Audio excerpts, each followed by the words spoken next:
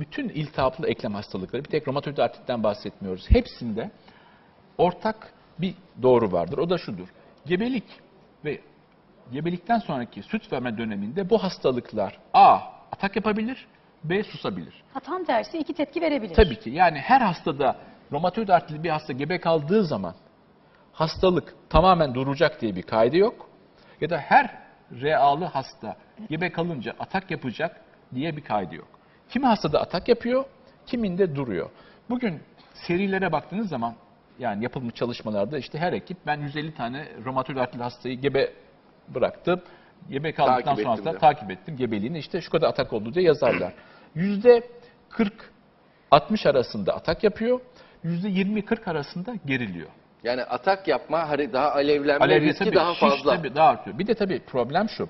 Ana ilaç tedavisi yapılırken romatoid artritli ya da herhangi bir iltihaplı romatizmada gebe kalmış bir hastada ana ilaç kullanılabilir mi? Bu çok uzun yıllardan beri tartışılan bir konuydu. İki tane ilaç var kullanabildiğimiz bizim. Bir tanesi ana ilaç sınıfının en altındaki ilaç. En alttaki ilaç.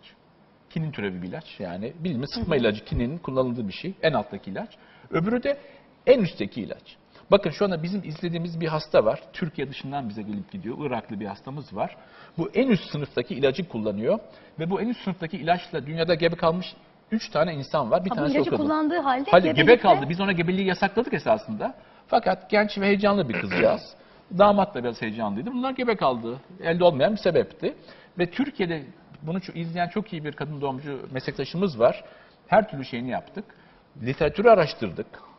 Firmayla konuştuk. Yani onlar da çok fazla bilgisi yok. Çünkü yok böyle bir olay yok. Çünkü genelde e, ne diyor doktorlar? Gebe kalmayın bunu kullanın. Kız gebe kaldı.